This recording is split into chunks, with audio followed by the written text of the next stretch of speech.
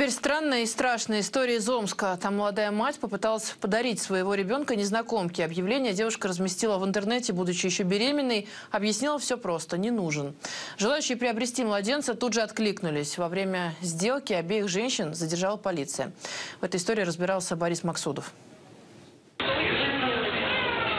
Кадры из камеры наблюдения в Омском аэропорту. В зоне вылета молодая девушка. Вот она передает ребенка в руки другой женщине. Теперь это видео весомая улика в уголовном деле. Жительницу Омска обвиняют ни много ни мало в дарении собственной дочери. Одна хотела ребенка воспитывать, а вторая не могла в силу жизненных обстоятельств, и поэтому решила таким способом им распорядиться. О сделке омские следователи узнали от знакомой молодой матери. Все началось с необычного объявления в социальных сетях. Женщина из Санкт-Петербурга просила помочь в поисках ребенка. На эту просьбу и ответила молодая Амичка. Здравствуйте, мы с мужем хотим малыша до трех месяцев. Документы на усыновление готовы. Здравствуйте, я хочу, чтобы мою дочь удочерили. Прошу, пожалуйста, воспитывать ребенка нет возможности. 25-летняя обвиняемая оправдывается. Ребенок был нежеланным, а содержать было не за что. Семья после пожара ютится на съемных квартирах. Против малышки были и родственники девушки. И пользователи соцсетей отмечают, на кадрах из аэропорта хорошо видно, как молодая мама очень нервничает, и ее приходится успокаивать. Наверное, так лучше поступить, чем выбросила бы на помойку или еще чего-нибудь сотворила с ребенком. Ситуация, конечно, страшная на первый взгляд, но если подумать, то так лучше. По крайней мере, она не бросила ребенка в лесу или на улице, и он не голодал. Если у нее нет денег, понятно, что это ненормально.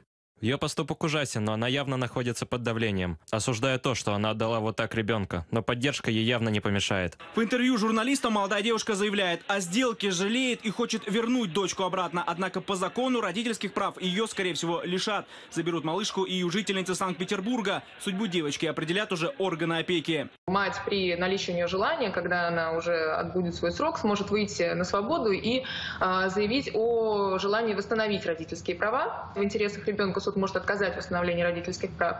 Если же ребенку уже исполнится на тот момент 10 лет, э, то суд э, обязан учитывать мнение ребенка и только с согласия ребенка может восстановить родительские права в отношении матери. Обе фигурантки уголовного дела заявляют, ребенка не продавали за деньги, а передавали бесплатно. Следователи сейчас разбираются в нюансах сделки. Борис Максудов, Вести.